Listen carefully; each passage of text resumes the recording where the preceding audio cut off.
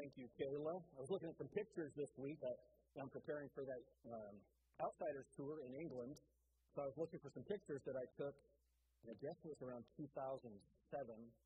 And I found some pictures of Lydia and Kayla playing softball. And they were so little. And of course, Lydia's still little. But uh, it was so fun seeing those pictures. And Becca, where's Becca at? She's, she's downstairs. Becca actually looked like she was still asleep back then. She needed to, to hear that. Somebody pass that on for me. Open your Bibles to uh, Acts chapter 8 and get Isaiah chapter 42. Acts 8 and Isaiah 42. If you don't have a Bible with you, there should be one in under the seat in front of you. Be sure and grab that. You're going to want to be able to see this text. Isaiah chapter 42 and Acts chapter 8. Let's have a word of prayer. Lord, help us as we study your word today. We're going to learn some amazing things about you that have been revealed in your word. And it also helps us to understand what we are to do. So, Lord, I pray that you'll help us through your word. In Jesus' name, amen. Let's start reading Acts chapter 8 and verse 26. We are continuing our series on the book of Acts called The Beginning of Our Story. And before we go there, I, I, want you to remember what it said in Acts chapter 1 that, that Luke was writing to a man named Theophilus of all that Jesus began both to do and to teach. Our faith, what we believe, is a matter of faith and practice. A church is defined by what it believes and what it does. There are a lot of churches that believe something, but they're not doing anything. There are a lot of churches that are doing things, but they don't really believe anything. The, the, the Bible says that we are to worship God in spirit and in truth. And our faith is based on what Jesus did and what he taught, and then also through what the Apostle Paul did. But here in this text, we're going to learn how God used Philip, and we're going to learn some things about the God of Philip. So let's look at chapter 8, Acts chapter 8, and let's start reading in verse 26. Now, my last challenge to you don't unplug your brain as we read this text, because we're going to read through it once, and then we're going to learn some things about it. So really focus on the text. Verse 26. And the angel of the Lord spake unto Philip, saying, Arise and go toward the south unto the way that goeth down from Jerusalem unto Gaza, which is desert. And he arose and went, and behold, a man of Ethiopia, an eunuch of great authority under Candace, queen of the Ethiopians, who had the charge of all her treasure, and had come to Jerusalem for to worship, was returning and sitting in his chariot, read Isaiah the prophet, read the Isaiah. Then the Spirit said unto Philip, Go near, join thyself to this chariot. And Philip ran thither to him, and heard him read the prophet Isaiah, and said, Understandest thou what thou readest? Then he said, How can I, except some man should guide me? He desired Philip that he would come up and sit with him. And the place of the scripture which he read was this He was led as a sheep to the slaughter, and like a lamb dumb before his shearer, so opened he not his mouth. In his humiliation, his judgment was taken away, and who shall declare his generation, for his life is taken from the earth? And the eunuch answered Philip and said, I pray thee, of whom speaketh the prophet of this? Of himself or of some other man? Then Philip opened his mouth and began at the same scripture and preached unto him Jesus. And as they went on their way, they came unto a certain water, and the eunuch said, See, here is water. What doth hinder me to be baptized?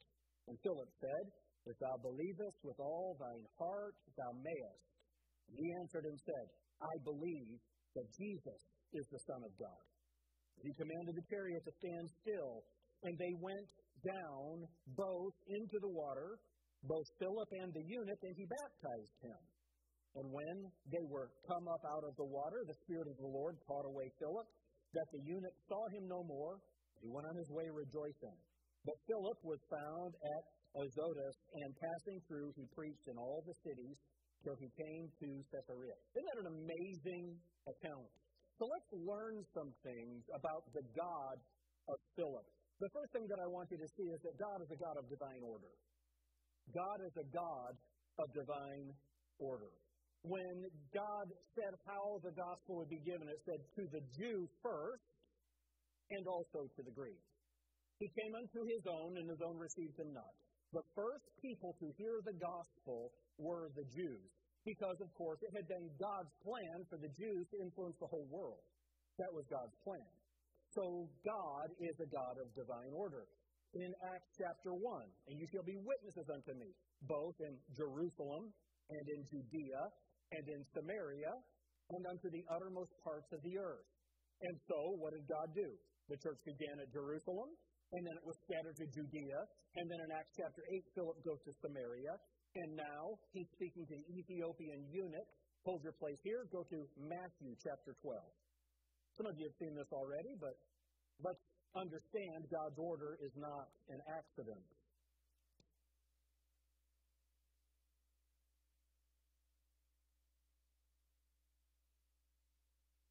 Go to Acts chapter 12. And here, the Jews have committed the unpardonable sin. They've attributed the work of Jesus Christ, the work of the Holy Spirit, to Satan. And so from this point on, Jesus never speaks clearly to the Jews again. He speaks in parables and teaches specifically to his apostles. And here in this text, he's showing that now I'm going to move my focus for this age to the Gentiles. So, look at what it says in verse 38. Matthew chapter 12 and verse 38. Then certain of the scribes of the Pharisees answered, saying, Master, we would see a sign from thee. But he answered and said unto them, A holy and faithful people look for a sign. How many of you know Christians that are always looking for a sign? Anybody know some people like that? What does Jesus think of that? He said, An evil and adulterous generation seeketh after a sign, and there shall no sign be given to it but the sign of the prophet Jonas. That's Jonah. For as Jonas was three days and three nights in the whale's belly, so shall the Son of Man be three days and three nights in the heart of the earth. Here's the sign I'm going to give you, Jesus said. I'm going to rise from the dead. You'll be dead for three days and three nights, and I'm going to rise from the dead. And we've already seen the name Isaiah and now Jonas. That's just Greek pronunciation of the Hebrew name. That's the only reason it's spelled differently in your Bible. Look at what it says in verse 41. The men of Nineveh shall rise in judgment against this generation and shall condemn it because they repented at the preaching of Jonas, and behold, a greater than Jonas is here. The queen of the south shall rise up in judgment against this generation and shall condemn it, for she came from the uttermost parts of the earth. Where did she come from? Ethiopia. So, Jerusalem, Judea, Samaria, and the uttermost parts of the earth. How many of you think maybe God had a plan? You see, our God is a God of divine order. Go back to Acts chapter 8. So to the Jew first, Jerusalem, Judea, Samaria, and the uttermost parts of the earth. This one's a fascinating one. Oh, just for the fun of it, let's go there. Put your ribbon here in Acts chapter 8. We don't have anything else to do today, right? Just study the Bible. Let's go to Genesis chapter 10. This one makes people nervous. Hey, can I tell you something real quick? So I drove to Somerset, Kentucky and back yesterday. My sister's father in law passed away suddenly, so I went down to the funeral. And I was driving back, I was listening to an interview that Joe Rogan did with Tucker Carlson. Now, how many of you think of, of either Joe Rogan or Tucker Carlson as your go to Bible expositors? But Tucker was talking about how man is a physical and spiritual hybrid. And that's what, that's what has always been taught. He said, just like in Genesis 6. You know what's sad? Tucker Carlson, a man, I don't have any idea whether he's saved or not, believes the words of the Bible more than most fundamentalists. How about that? And this is another passage, Genesis chapter 9, Genesis chapter 10, that causes a lot of consternation in the world. But let's just read what it says Genesis chapter 10 and verse 1. Now these are the generations of the sons of Noah Shem, Ham, and Japheth, and unto them were sons born after the flood. And this is always the order of their names. And so God gives a prophecy for Shem. Shem is the Semitic people. And then Ham. Ham is the, the people in the, the south of that region. And then Japheth, that's going to be the Europeans.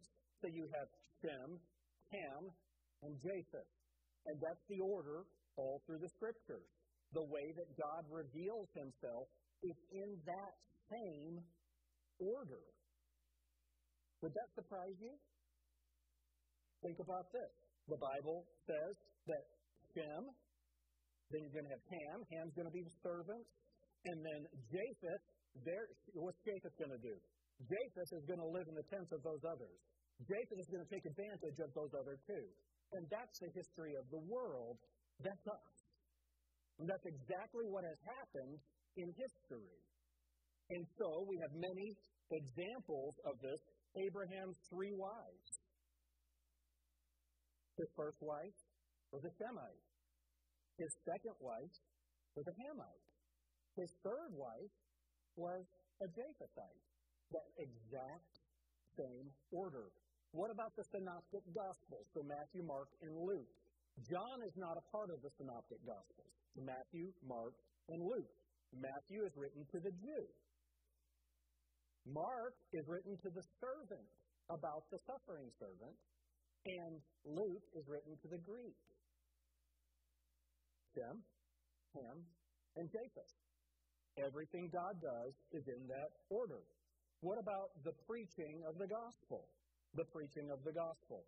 The first person, the first people that are preached to following the resurrection of Jesus Christ and the sending of the Holy Spirit, ye men of Israel. Who's the second?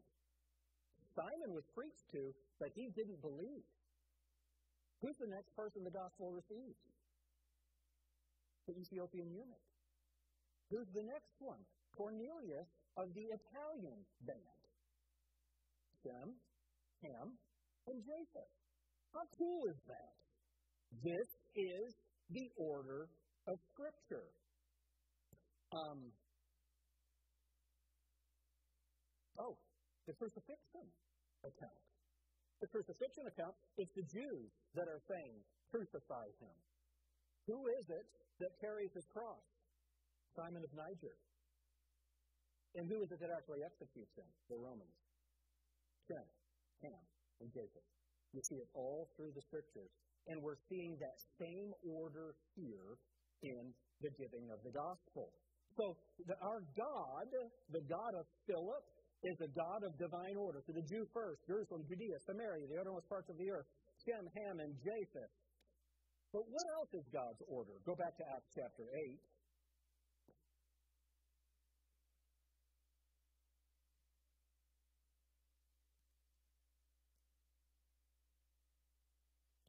And look at what it says in verse 30. And Philip ran thither to him and heard him read the prophet Isaiah and said, Understandest thou what thou readest? And he said, How can I, except some man should guide me? And he desired that uh, he desired Philip that he would come up and sit with him. And so then what did he do? It says in verse 32, the place of the scripture which he read, verse 34, the eunuch answered Philip and said, I pray thee, of whom speaketh the prophet this? Of himself or of some other man? Then Philip opened his mouth and began at the same scripture. And what's that next word? You see, it's God's divine order that faith follows preaching. All right, go to Romans chapter 17. I'm sorry, Romans chapter 10 and verse 17. How many of you already knew I was wrong on that? Good discernment. First amen in a long time. Romans 10. All right. And look at verse 17. You know, I love it that he ties it with Isaiah again, just like our text, verse 16. But they have not obeyed, all obeyed the gospel, for Isaiah saith, Lord, who hath believed our report? Verse 17. So then faith cometh by hearing, and hearing by the word of God. What does the Bible then say? It says in verse 13, For whosoever shall call upon the name of the Lord shall be saved. How then shall they call on him and they not, in, in whom they have not believed? And how shall they believe in him of whom they have not heard? And how shall they hear without a preacher? It's God's order to give us the word, to give us preaching, and through the preaching of the word to generate faith, and that believing faith is what saves.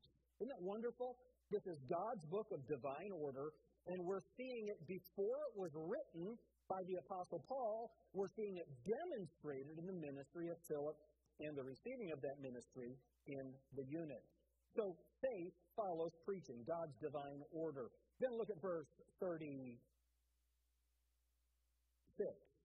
And as they went on their way, they came unto a certain water. And the eunuch said, See, here is water. What doth hinder me to be baptized? And Philip said, If thou believest with all thine heart, thou mayest. And he answered and said, I believe that Jesus Christ is the Son of God. And he commanded the chariot to stand still.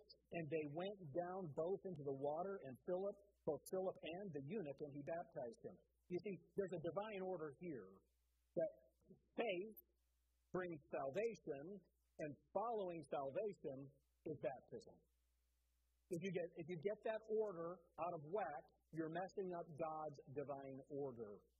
It, it's vital that we see this. There's something else that it, it's so funny. I have pictures. I have books that, on the history of baptism, and there are pictures of Philip and the eunuch and Philip were down in the water because they went down in the water. And then he picks up some kind of thing and sprinkles him. Did they have to go down in the water for him to sprinkle him? No, no. Baptism is always immersion in the Bible. It is always immersion. You might say, why doesn't the Bible say immersion then? Why does it say baptized? Because going all the way back to the 1200s in English, baptized meant immerse. That's what it meant. As a matter of fact, when the King James Bible was translated, the word immerse didn't exist, meaning to dip in water and bring back out. The other part of baptism that's very important, baptism is not only immersion. How many of you have been scripturally baptized? Would you raise your hand? How many of you are glad that the preacher brought you back up? Back up. Baptism is not only immersion, baptism is the picture of the death, burial, and resurrection of Jesus Christ. And the resurrection is very important to us. Amen? Very important because of what Jesus did, and it's very important because we drowned. All right? So that's the, the method and the administration of baptism is outlined for us very well here. And this is God's divine order. Baptism follows salvation. And I love this part. So let's read verse 38. And he commanded the chariot to stand still, and they went down both into the water, both Philip and the eunuch, and he baptized him. Look at this. And when they were come up out of the water, the Spirit of the Lord caught Philip away, but the eunuch saw him no more. And he went on his way rejoicing. Joy follows Scripture, obedience, salvation, and baptism. If you want to experience the joy of your Christian life, be obedient to God's divine order. If you want to be a miserable Christian, get outside of God's divine order. Amen? How many of you, you've got some instructions, you've got something you put together, and you've gotten it out of order? It might be that you've got to put the back on a cabinet and you realize too late that you've already attached the sides and now the back won't fit. So you got to take it all apart. Why? Because you messed up the order. And there's no joy in that. It's the same thing in our Christian life. If you want to have the joy of the Lord, the joy of the Lord comes through obedience. Obedience. And we see that joy. So, God is a God of divine order. To the Jew first, Jerusalem, Judea, Samaria, and the uttermost parts of the earth. Shem, Ham, and Japheth demonstrated in our text. Faith follows preaching. Baptism follows salvation. And joy follows Scripture, obedience, salvation, and baptism. So God is a God of divine order. What else? Our God is a God of divine direction. He is a God of divine direction. Go back to Acts chapter 8 and look at what it says in verse 26. And the angel of the Lord spake unto Philip, saying, Arise and go. In verse 27, and he arose and went. That's the way it's supposed to be. How many of you know that children are supposed to obey their parents? How many of you know that? How many of you fail to practice it? No hands went up. Look at this. You won't admit it. Here, I'm going to point some of you out right now. If you tell your children to do something and they disobey, you have not taught them obedience. And what does obedience require? It requires submission to an authority. And our problem is, we as parents don't want to be the authority, we want to be a friend. Well, let me promise you this. If you're the authority when they're young, you can be the friend when they're old. Jacob's going to come over to the house, and I'm going to tell him lots of stuff he needs to do. No, those days are done. We're going to have fun fellowshipping as friends. I'm still his father, he's still my son, but it's a different relationship than when he was six. You see, obedience requires submission and authority. Here, we have a submissive servant being willing to obey his authority. And who is his authority? Who? There are two authorities here. Look at what it says in verse 26. And the angel of the Lord spake unto Philip. Who's that? That's Jesus. And then, look at what it says. In verse 29.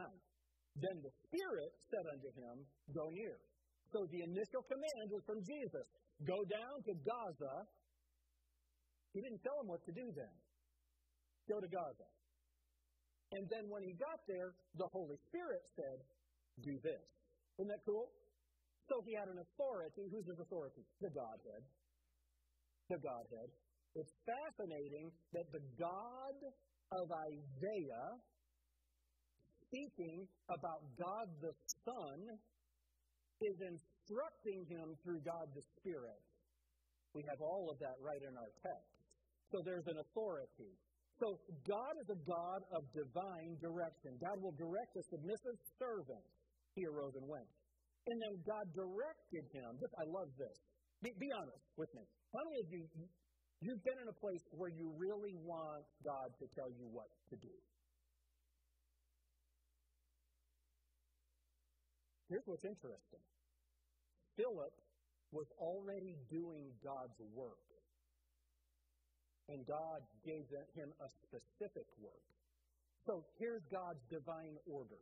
Here's the way the Spirit directs it's always from the general to the specific. From the general to the specific. Love the Lord your God with all your heart, soul, mind, and strength. How do I do that? I do that by dying to self. I start to get specific instructions in the Bible, but it's always from the general to the direct. And you shall be witnesses unto me, both in Jerusalem, Judea, and so he goes to Samaria and begins preaching. While he's preaching in Samaria, that's a general command. That's to a group. That's to a group of people in a location. And then it gets more specific. I want to talk to this guy right here. This is the way that God works. The reason that many of us never experience the direction, the specific direction of God, is because we are living on our own. We are not fulfilling His general commands. And here's the biblical word for His general commands His will. His will. God's will is the same for everyone. It's not God's will that any should perish, but that all should come to repentance. Here's how you can begin hearing from God. Number one, repent. Repent of your sin. Repent of what you are believing about God. Repent of believing that you're good enough. Repent and believe. Repentance toward God. God is just, I'm not. Faith toward Jesus Christ. Jesus came into the world to save sinners, of whom I am chief. You see, that's God's will. It's God's will that you abstain from fornication. It's God's will that you pray always. There are specific things that are God's will. That's different than God's plan. How many of you, you know for sure that it's not God's plan for you to pastor Grace Baptist Church? You know that. Every woman in here needs to raise her hand. Some of you think you could do this. I can tell. And yet, that was God's plan for me. You see, there's a general command I had to repent, I had to submit. There are certain things that I had to follow, and then God gave me His specific plan. You know, you guys know I, am not a I'm not a, a spiritual person. God doesn't talk to me all the time. You ever been around somebody like that? I'm driving on the road. God told me to turn left. I've never experienced that in my life. And yet, 27 years ago, almost 20, uh, 27 and a half years ago, the last Sunday of, the last Saturday of November, when Laura and I were driving up I 75 and got to Fair Road, we knew this is where we were supposed to be. How'd you know that? I don't have any idea. I don't know. I just knew it. That was God giving us a specific plan. Do I base doctrine on that? Of course not. And I certainly wouldn't apply that to you.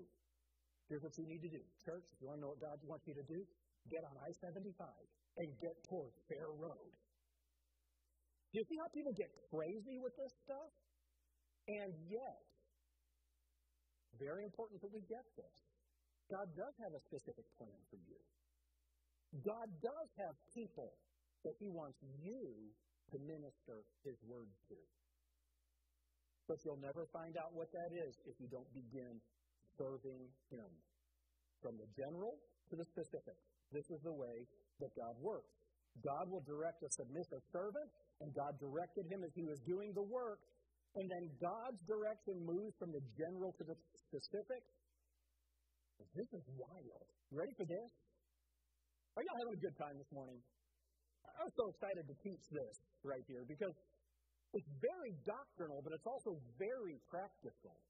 How many of you are glad that God is not bound by unfaithful servants? Wow. Listen to this God's direction will move away from unfaithful servants. So, what was God's plan? Jerusalem. Did God want the church at Jerusalem to do right?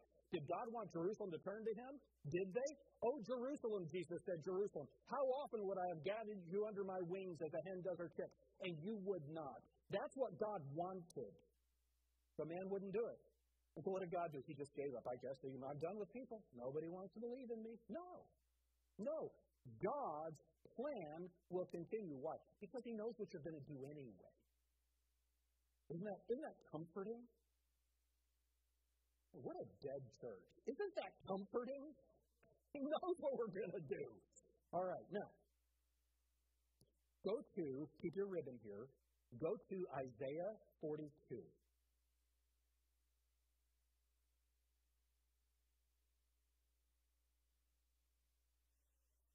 And look at verse 5. Thus saith God, the Lord.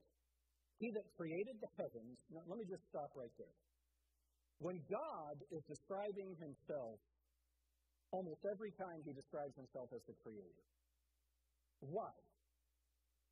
Because he has the prerogative to do with his creation what he chooses.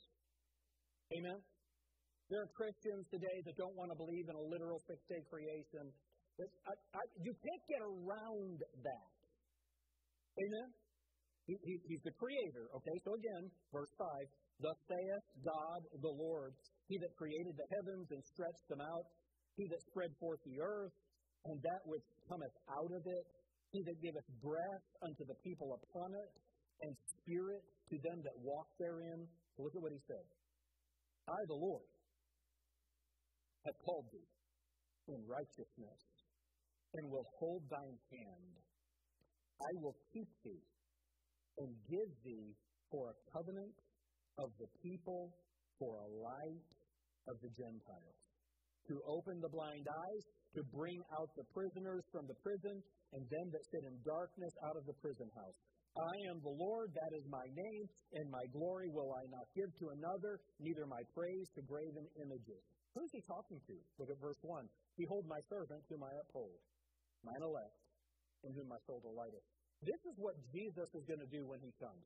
This is the prophecy. 750 years before Jesus Christ came. This is the prophecy of who Jesus is going to be. Amen? And so he's going to be a light to the Gentiles. And yet, look at Isaiah chapter 45. Oh, look at chapter 44.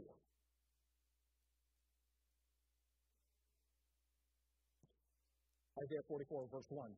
Yet now, hear, O Jacob, my servant, and Israel, whom I have chosen, Israel, whom I have chosen, chapter 43, verse 1. But now, thus saith the Lord that created thee, O Jacob, and he that formeth thee, O Israel. Remember the divided kingdom, Israel and, and uh, uh, Judah? Fear not, for I have redeemed thee. I have called thee by thy name. Thou art mine. Look at what it says in verse 45. I'm sorry, chapter 45 and verse 4. For Jacob, my servant's sake, and Israel, mine elect, I have even called thee by thy name. I have surnamed thee, though thou hast not known me. He's talking about Cyrus there. But here is Jacob, Israel is God's elect. What was God's plan? For his elect people to be a city on a hill. For his elect people to not take their light and hide it under a bushel. It was God's plan for Israel through their righteousness through their holiness, through their worship of the holy God, to attract people to the God of the universe. But what did they do? They became a repugnant people. And they changed in two ways. They, they neglected this in two ways. Number one, they became so arrogant and proud of their national heritage that they rejected everyone else. Why did Jonah not want to go to Nineveh? because he hated the Assyrians. He hated them. He hated them. Is there anybody you hate? Is there any race that you hate?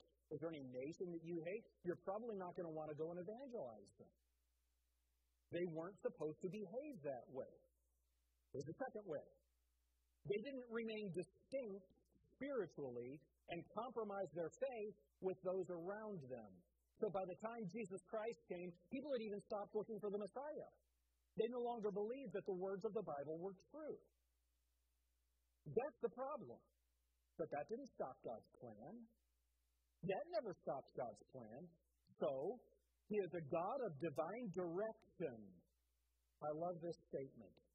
We do not frustrate the plan of God. How many of you know that whatever God says is going to happen? Here's the good news you can be a part of it or not. You can be a vessel of honor or a vessel of dishonor. We're going to see, we already saw in Acts chapter 8, earlier in our chapter, how Paul made havoc of the church before he was saved, and they went everywhere preaching the gospel. God used Paul to spread the gospel before he was saved and after he was saved. Paul didn't frustrate the work of God. Amen? God is a God of divine order, and He's also a God of divine direction, and He will direct your path. Is that what the Bible says? He will direct your path. But if you won't follow that path, His work is still going to get done. I love that. We can either have a blessing of participation or the shame of nothing at the judgment seat of Christ.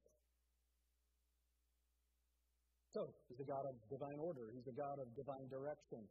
And I love this. He's a God of divine revelation. Okay, everybody go back to uh, Okay, hold your place here. Get to Isaiah 53, and then we're going to go back to Acts chapter 8.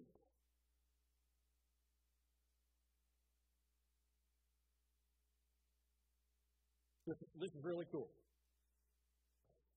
So, in Acts chapter 8, Philip is walking along, and the Spirit says in verse 29 Then the Spirit said, Go unto, uh, said unto Philip, Go near, join thyself to this chariot. And I love this a submissive servant, he ran. That's something when uh, Jacob and Lydia were little, we homeschooled, they were here at the church a lot. And um, when I would do counseling, doing some premarriage counseling or whatever, I would talk about obedience. And so we would allow Jacob to play video games for a short period of time. Was it 30 minutes a week? Is that, it was something? Jacob, what was it? An hour a week. That was the limit for video games. And so when he was playing a video game, that was serious time. And so I'd say, watch this. Jacob, come here. So he's down in the teen room playing video game. And the next thing you would hear is Jacob running down the hall. There was none. Wait a minute. I got to get to the next level. That was not allowed. But, immediate obedience. Immediate obedience. And we also taught them when I call, you run. Why? What if the house is on fire? What if there's a problem? When I call you, you run. What is Philip doing right here? Do you see it? Then the Spirit said unto Philip, Go near, verse 30, and Philip ran thither to him. And he heard him reading. He heard him. He was reading it out loud. And what was he reading? Verse 32. The place of the, what's that next word? Do you think this Ethiopian eunuch had the original scroll that Isaiah wrote? How many of you think he probably did not?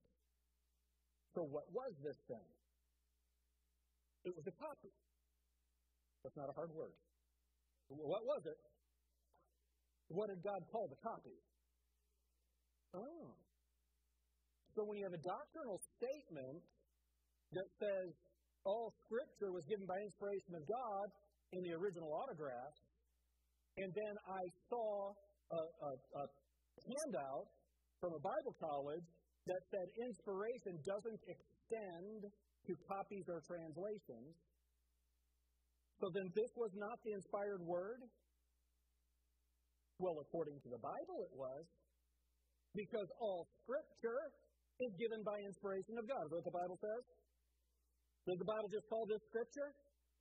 Was what Philip was reading? Was what the eunuch was reading? Was it inspired Scripture? Huh. And yet we're the weird ones. Why? Because we just believe it. We believe what the Bible says. God is a God of divine revelation. So let's go to Isaiah 53 and let's read the text that he was reading. It's verse 7. Isaiah 53 and verse 7. And of course, as we learned from Dr. Vance this week, there were no verse numbers when it was written, but I'm thankful that we have the verse numbers so that we can find it. Verse 7 He was oppressed, and he was afflicted, yet he opened not his mouth.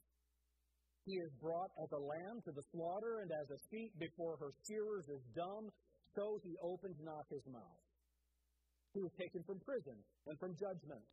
And who shall declare his generation? For he was cut off out of the land of the living. For the transgression of my people was he stricken. So let's go back to Acts chapter 8.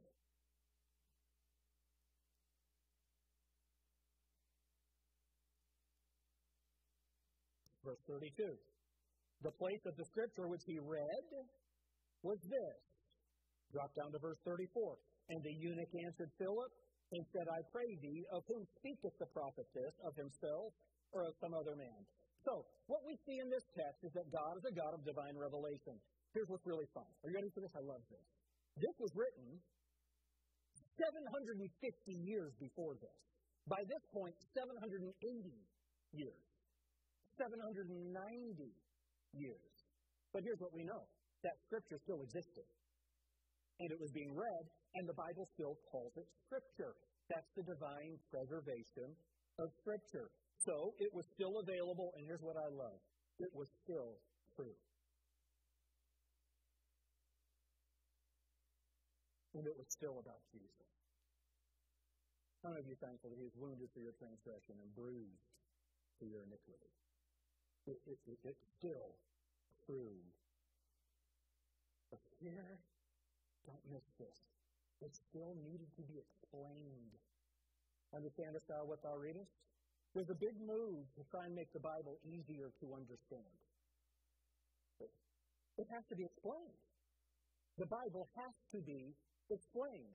But Peter said of Paul's writings that in them are, are some things hard to be understood. If you make Paul's writings easy to be understood, they're no longer Paul's writings.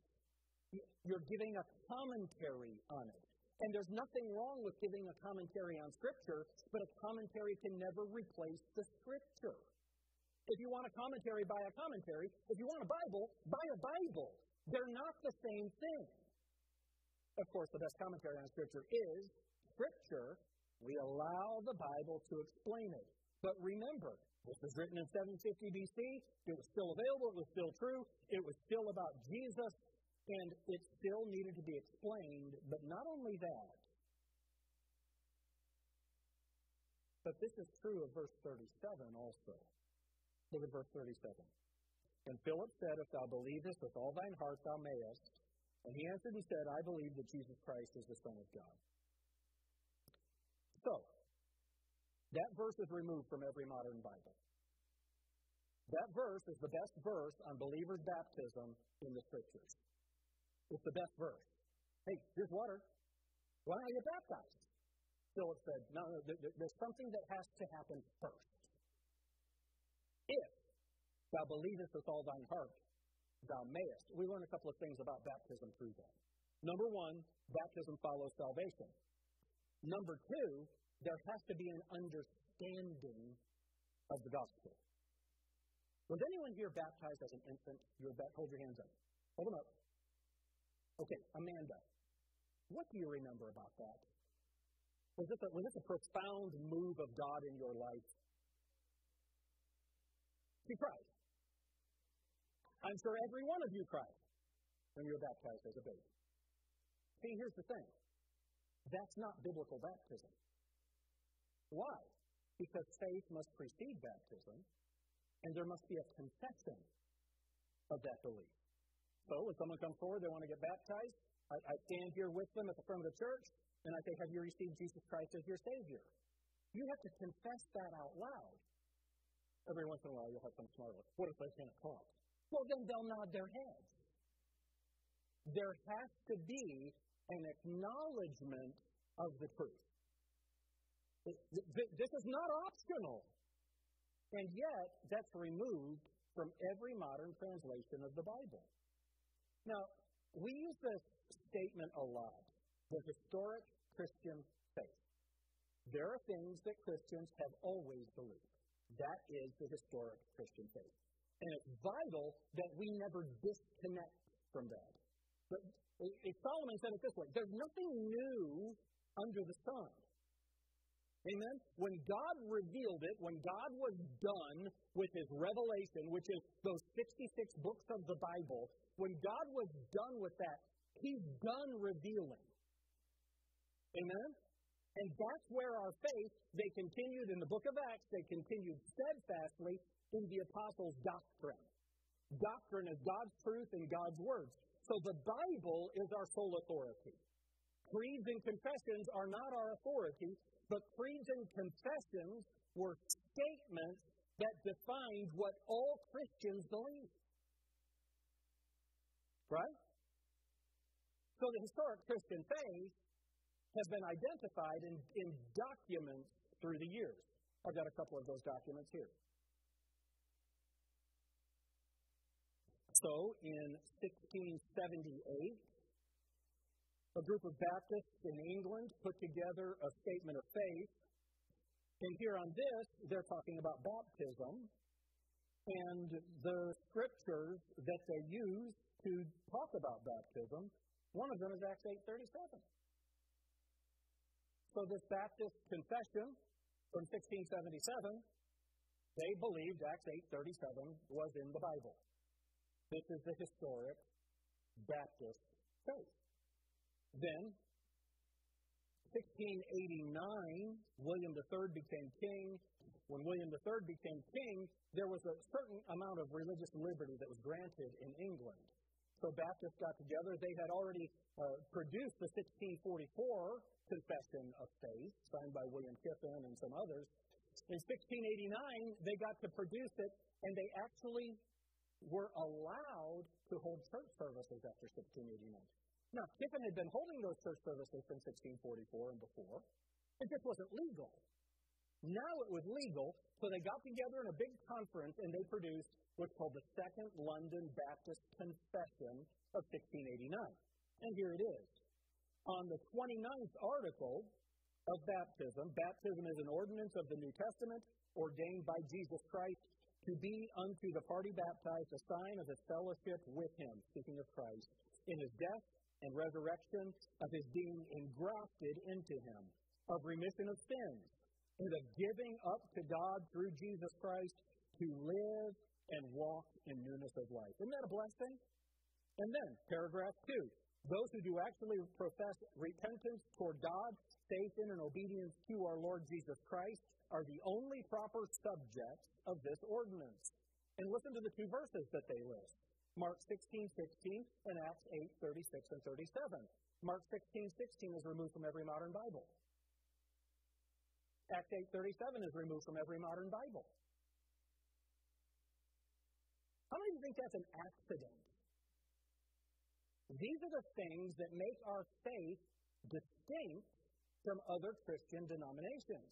And so, what there will be is there'll be a, a footnote, like I was reading uh, my commentaries for this text this morning, for this message this morning, and uh, at verse 37, they say that that passage is only found in certain late manuscripts. And by late manuscripts, around 500 AD. That's not very late.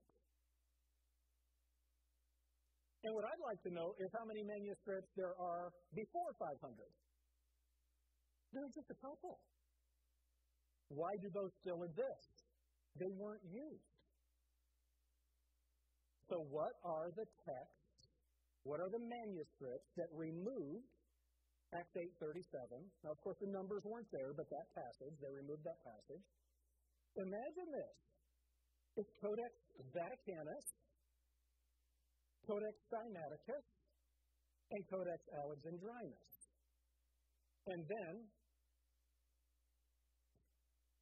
just a very, there are just a very few papyrus that exist. And here's P45. So P45 doesn't have Acts 837, and neither does Vaticanus Sinaiticus or uh, Alexandrinus.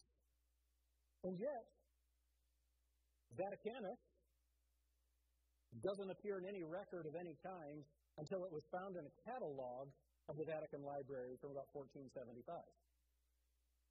Codex Sinaiticus wasn't discovered until 1844. It wasn't copied until 1859. It wasn't photographed until 1910. Codex Alexandrinus was given by uh, the, the Patriarch of Constantinople to King James I in 1525. It didn't get there until 1527, and he was already dead. Charles I was the king, and he had other problems, like his head was cut off. So this wasn't used. So are you telling me that the God of the Bible, the God has promised to preserve his word, the God who has said man cannot live by bread alone, but by every word of God, that God hid the truth of believers' baptism, which is a third of the Great Commission from Matthew 28 19 and 20. We're supposed to go and preach, make disciples, baptizing them in the name of the Father, the Son, and the Holy Ghost. And then in Mark chapter 16, go ye into all the world and preach the gospel to every creature. He that believes and is baptized shall be saved, but he that believes not shall be condemned. All of that was hidden or it was just put in there. We don't really need that. But he didn't reveal that until 1910? Is that the God of the Bible? Honestly. Is that the God of the Bible? But is there any evidence for Acts 8.37 in existence before Sinaiticus and Vaticanus? Sinaiticus and Vaticanus they say that they date to around 350, 350 BC, the year, I'm sorry, 350 AD. Well, Irenaeus wrote a book called Against Heresies around 177 AD, and he quotes Acts 837. Cyprian wrote a book around 258, and he quotes Acts 8:37. Now, how many of you know that 177 and 258 is before 350? Can you all do that math? Why would you want to remove it? Seriously. The other thing is, it's in the majority of manuscripts. Most manuscripts have it. So why would you want to remove it? Well, I, I don't know. I, I don't want to impugn someone's character. But clearly you don't believe God preserved His Word. Amen? Clearly believer's baptism is not significant for you. So then why is it that we have modern Baptists that believe that that verse isn't supposed to be in their Bible? Because they're believing some bad information, and let's just be honest. They, are, they, they do not have a faithful view of Scripture, and they clearly do not hold to the historic Christian faith. So that 1689 London Baptist Confession is kind of a baptized Westminster Confession of Faith.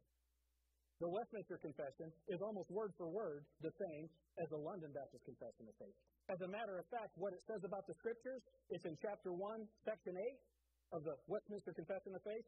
It says that God, through His divine providence, has kept His word pure in all ages.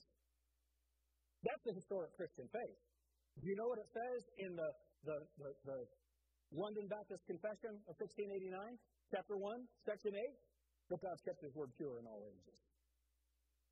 What did they believe? That God has kept His word pure in all ages. How many believe God kept His word pure in all ages? Of course you do. That's the historic Christian faith. Why don't modern confessional Christians hold to that? Because they don't hold to the, to the historic Christian faith. God is a God of divine revelation. And He's also a God of divine preservation. Amen? We actually have the Bible. We can preach it, we can believe it. And here it is. So, the God of Philip, he was a God of divine order. He's a God of divine direction. He's a God of divine revelation. But I love this. He's also a God of divine mercy. You see, we're seeing a shift. How many of you, you are an American, as in the United States of America? You're an American. How many of you, it's becoming more difficult to be proud of that? Right? But here's what we understand. In the New Testament, God doesn't deal with nations, He deals with individuals. So, Acts chapter 2, ye men of Israel. What happens here? One man. So, God moves, His mercy is being demonstrated to an individual, but not just any individual, a black man. What is God telling us? That salvation is no longer national and it's no longer connected with any race. Salvation is individual. And his mercy is extended to an individual. Here's what I love about this He moves supernaturally for one man. Jesus and the Holy Spirit of God direct him to one man. He moves supernaturally for a black man. He moves supernaturally to demonstrate that salvation is not only for one race. Salvation is of the Jews, is that what the Bible says? But not only for the Jews. Praise God for that. God's not done with the Jews, but now in Christ, there's neither Jew nor Gentile. Brother Vance mentioned that this week. So, He's a God of divine order. He's a God of divine direction. He's a God of divine revelation. And He's a God of divine mercy. But He is also God that gives divine joy. Joy follows divine order. Joy follows divine direction. Do what God tells you to do. How many of you, you know that God wanted you to do something, you didn't do it, and you really should have? Any of you? You ever experienced that? Yeah. Yeah. Joy follows divine order. Joy follows divine direction. Joy follows divine revelation. How many of you ever thought God wanted you to do something and He really didn't? Because you didn't get it from the Word of God. Joy follows divine revelation. And praise God. Are you thankful you're saved? Joy follows divine mercy. I hope that you're saved today. If you're here this morning and you've not placed your faith and trust in Christ, you're just under divine judgment. The Bible says, he that believeth not, not will be condemned, but is condemned already. God has already judged sin. He judged that sin on the cross. And you can, you can be a part of Christ's sacrifice. Or you can pay for it yourself. Aren't you thankful for divine mercy? Have you learned something about the God of the Bible today? Amen. Let's all stand together. Lord, thank you so much for your word. Thank you for the opportunity to preach it. Lord, thank you that you have preserved it and that we can trust Acts 8:37 and that we understand your divine order even if the religious world does not. Let God be true, but every man a liar. Thank you, Lord. And I pray if there's someone here who's not born again, that today will be the day of their salvation. With every head bowed and every eye closed, how many of you know the will of God? How many of you know that? You know what the will of God is? Who here, you're in a place where you really need to discern His plan for you? Raise your hand around the room. Amen. Amen. Well, we've learned from Philip how God does that. Let's sing this together.